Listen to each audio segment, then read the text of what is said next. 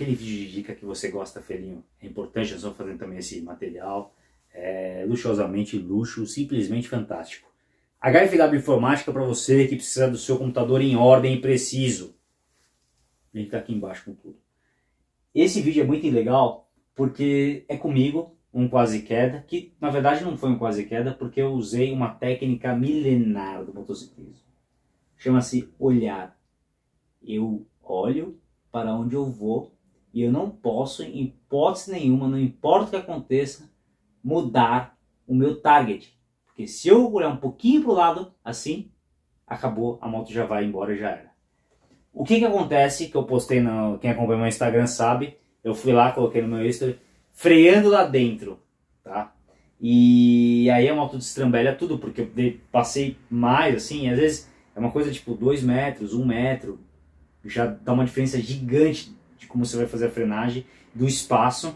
Então é, eu não podia passar reto, porque primeiro que ia cair e quebrar tudo, segundo eu ia jogar minha corrida no lixo. Então aqui, essa corrida foi aquela que eu entrei no desespero, porque eu fiquei sendo seguro por um piloto, a moto do cara desenvolvia demais de reta, e aí quando eu passei, eu ainda conseguia ver os ponteiros, eu falei, meu, tem que pegar, tem que tentar, enquanto eu tô vendo, tem que tirar essa diferença. E aí eu comecei a tentar atrasar minhas frenagens para chegar junto. E aí, conclusão, nessa aqui eu tava vindo, mas depois eu joguei tudo fora porque ficou muito. Aí eu perdi muito tempo nessa curva. E aí eu pensei, falei, pô, é, vou ter que contar com um erro lá, da, tomara que eles briguem bastante para baixar, para aumentar o tempo deles e eu conseguir chegar, né? Mas no final eu abri do que eu tava brigando aqui, não consegui chegar e a corrida virou para mim um track day né? Isso acontece também quando você fica num meio termo. E a corrida quando vira um track day, acho que ela, ela é mais cansativa do que quando você está tretando por posição. Porque treinando por posição tem que passar rápido. Track day, meu, você olha 10 voltas.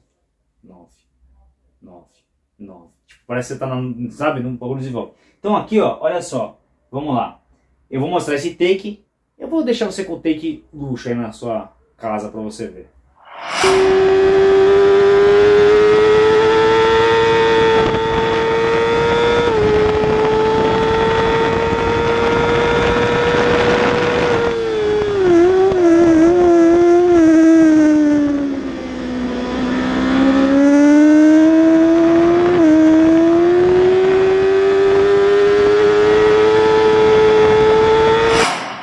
olha só, primeiro, segundo, terceiro, quarto, eu. Tô vendo os caras. E é aí que a emoção aflora, que eu falei, mano, vou ter que tirar as frenagens para conseguir entrar nesse pilotão aqui, né? E, bom, primeira caca que eu fiz, deixar para frear lá dentro de uma corrida. É, arriscado, por quê? Porque eu não tinha experimentado esse tipo de frenagem. Então a gente pega os treinos para experimentar isso. Avança um pouquinho, putz, ficou bom, não, não deu certo.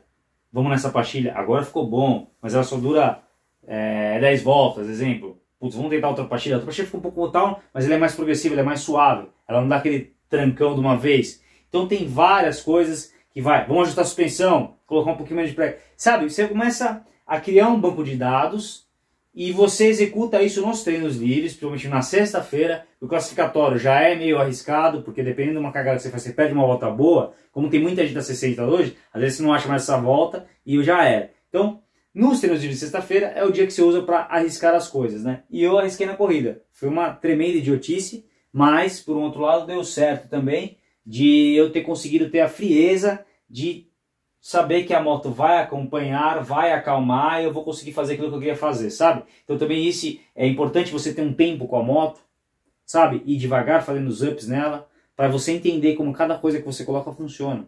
Então, por isso que eu falo para vocês, a pressa na moto é horrível. Ela é horrível. Principalmente para quem começa velho, igual eu comecei também com 25. Por quê? Porque a gente não vai para o Mundial, mas aqui no Brasil a gente tem condição de correr até 60 anos. Então olha só, quando seu bolso deixar você correr, você vai correr. Então não tem que ter pressa, tá? Mas vamos lá. Ó. Eu vou lá, eu vou dar uma arriscada na reta oposta, certo? Então solzinho, tal, não sei o que. Vamos no grifo. E aí geralmente tem a plaquinha de 150 a gente solta na plaquinha de 150 e freio. Eu deixei um pelo a mais, um pelo. Ó. Toma. Falei um pelinho mais em cima, ó. Olha essa estambelhada aqui, ó. E eu perdi a curva, mas eu não desesperei e fiz. O que que acontece aqui, filhos? Ó, eu tive que dar uma alicatadinha um pouquinho mais forte. Quando eu fiz essa alicatada um pouquinho mais forte, ela tirou um pouco a traseira do chão. Pouco. Foi isso aqui, assim, ó. Pouco. Só que foi o suficiente que eu já tava com aqui pro lado, pra na hora que eu, ela fez isso aqui assim, ó, tá fora do ar e ela encaixou aqui a dele e fez isso aqui, ó. Hum, hum, hum. E aí entrou. Aí você fala assim, ah, mas o turco lá consegue. Mas o turco tem uma suspensão, o turco tem um conhecimento, o turco começou a correr desse tamanho, é outra atmosfera, não, é, não sou eu. Então, é, se eu tivesse talvez ali catado um pouco mais, ela mais de lado escorregando aqui, ó, com mais freio traseiro, eu poderia ter encaixado, mas eu não cimentei. Então, eu preciso pegar agora um treino para começar a forçar mais essa frenagem e tentar arriscar mais para fazer. E ela é diferente, por exemplo, da reta de Capoava, porque Capoava se acalma muito a moto, aqui você anda um pouquinho mais, mas talvez Capoava seja uma curva para treinar. O problema de Capoava é que você mata ela, por exemplo, e aí você acalma e faz aquele U. Aqui não, você já entra acelerando espalhando assim. Então, são questões diferentes, mas talvez seja uma reta que eu vou treinar mais, porque são duas marchas de redução igual aqui, e aí eu vou acabar desenvolvendo. Mas o grande lance que eu quero falar para vocês é o olhar. Frieza, acreditar que está tudo certo e você vai conseguir. Não entrar em desespero. Por quê? Porque aqui dava para entrar em desespero facilmente, aí você vai reto para se mata e já era tudo. Então, ó, perceba que ela sai para o lado certo, tudo, só que ela levanta mais do que eu queria trazer. E ó, porque o alicate é muito mais forte.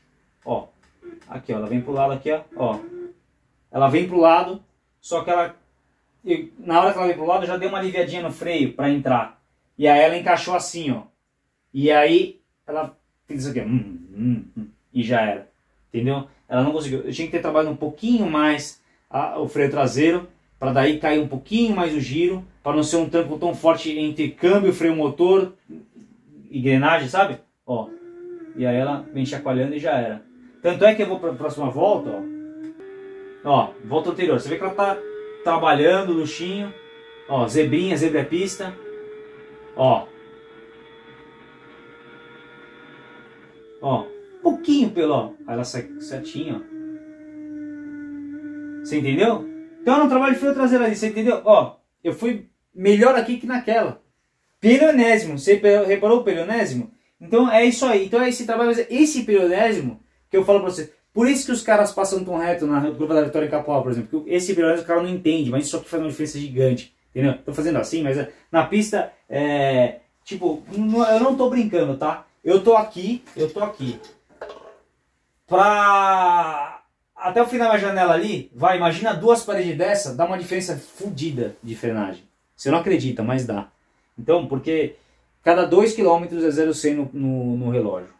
Então só pra você entender. E agora eu vou mostrar para vocês no backcam, como você vai ver que minha cabeça fica focada no fim da curva.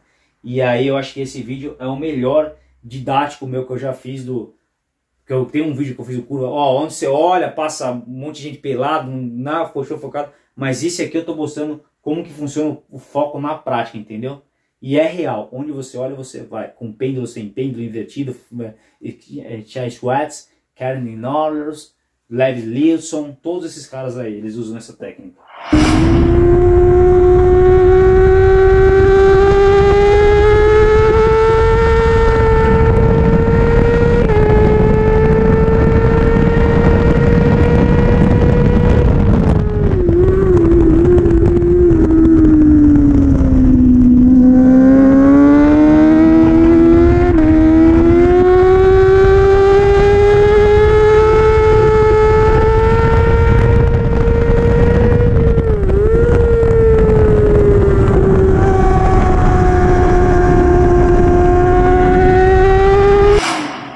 Quadril aqui, vamos lá.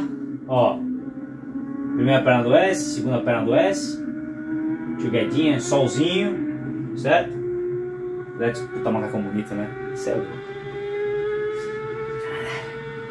Soleta, ó. Preparo do quadril. Um pouquinho mais, filho. Aí, agora foi bom. Ó, ó. Tá vendo? Ó, ó minha cabeça, focaram na curva, ó. Não interessa o que tá acontecendo, eu tô na curva. É isso que eu quero mostrar para vocês. Certo? Não importa o que está acontecendo na moto, a cabeça ela manteve lá, ó. De novo. Ó. Mais um pouco, filho. Aí. Ó a cabeça. Não tô olhando o que tá acontecendo aqui embaixo. Eu tô na curva, ó. Eu tô na curva, ó. É isso, filhos. É isso. É isso que vocês têm que fazer. Só que isso, filhos, demanda um pouquinho de tempo, de experiência, de você acreditar na sua moto, de você ter o banco de dados, ter passado por várias situações para você acreditar. Então, por isso a importância do treino de pista, de experimentar as coisas, não sempre para a pista fazer as mesmas coisas, fazer em terceira, fazer em quarta, botar um pouquinho mais para cá, vem para cá, ver como é que é, faz uma redução um pouco mais forte, entender. As pessoas vão e, ó, vamos lá, olha aqui, ó, a, a próxima, ó, já depositei certinho no início, ó. No meu volto quase, ó, ó, certinho, entrou, pá, ó, ó a diferença. É. Então, é, vocês têm que focar o olhar, principalmente, e quando vocês vão para a pista, parem de fazer as mesmas coisas, experimentem. Vocês têm oito baterias para experimentar. O que adianta sempre em busca do tempo sem mudar nada, sem saber o que está fazendo, sem, sabe, só na coragem racing. Então, eu faço isso, vocês podem ver, meus treinos de sexta-feira são sempre um lixo. Por quê? Porque meu foco é. Aí eu vou lá, mexo na moto, eu não mostro pra vocês. Vai ver os próximos vídeos que eu tô. Próximo Target Racing, que vai ser antes da dica, né? Eu já foi, mas vai ter mais. Eu vou lá, vamos chamar, padre, vamos chamar uma volta, vamos ver isso aqui. Vamos fazer assim agora. Vamos botar uma, uma outra cor, só para ver um pouco mais. Vamos tirar uma da corrente e botar um pouquinho mais para frente ver o que acontece. Tal. Experimentar. Vocês precisam conhecer a moto de vocês. Agora, não dá tempo pro cara que ficou um ano com a moto conhecer ela inteira. Eu sinto muito. Tanto é que eu tô aí há seis anos correndo de 600. Primeiro porque eu cabe no meu bolso e olhe lá, que eu queria ir para mim, eu tenho vontade pra caraca, mas a grana não dá. E outra, mesmo na 600 tempo, sempre tem uma novidade. Então às vezes o cara que migra de categoria de um ano, o cara já migra. Se o cara não tem é, 10 anos, 11, 12, porque com 15, 16 tem que já estar tá indo lá para fora, no máximo 18 já tem que estar tá fazendo alguma coisa lá fora. Você começou depois dos 18, não tem porque já aqui, aqui, aqui. Ué, Vai fazendo, vai tranquilo. Tô falando. O tempo não é nosso, nosso inimigo, ele é nosso parceiro. A maturidade ajuda muito nisso. Perfeito, filhos? Espero que vocês tenham gostado desse vídeo de dica. É nóis, tamo chegando total e aguardo o próximo vídeo. Ai! Comenta aqui embaixo, compartilha, dá um like, é importante, você sabe. Essas coisas aqui gratuitas, você tem que me ajudar, pelo menos assistindo isso aí, completando, completando. Ai, rapaz do céu. Você gosta, né, filho? Não posso gritar porque eu, eu tô no mesmo dia. E olha que oração. Sério, não acredita, você não believe. Lembrando que eu acordei às 6 hoje. Que eu estava testando a brota, seguindo a cumprida. Aí depois você fala que a vida é fácil. 1h14. Fala que a vida é fácil, fala. Amanhã, eu entro lá, tarde, moto sprint. À noite, à tarde, porque a noite não fica aberta, se ficar, você vai ficar lanche também, que eu gosto da nossa casa, tá aqui, moto sprint. Aqui é nós. Fala que é fácil. Vai. Você tá indo lá treinar na Deus da Serra, né? Povinho, caraca, lá. A gente tá trabalhando. Aí você olha lá no vídeo e fala, caraca, como assim? Então não sei o quê.